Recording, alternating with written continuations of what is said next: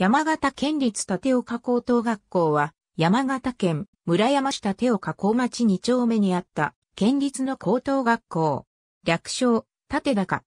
創造性に富む知性の育成豊かな心を持つ、個性の育成感性豊かな行動力の育成に、学期制2004年から導入。秋季休業は設けられていない。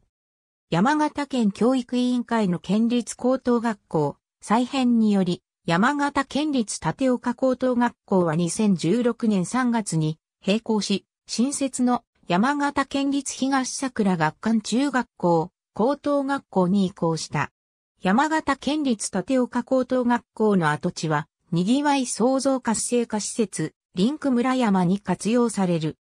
山形県立立岡高等学校の閉校後、2020年4月1日に山形県と村山市は不動産売買契約を締結し、5月15日に山形県から村山市に所有権が移転して私有財産になった。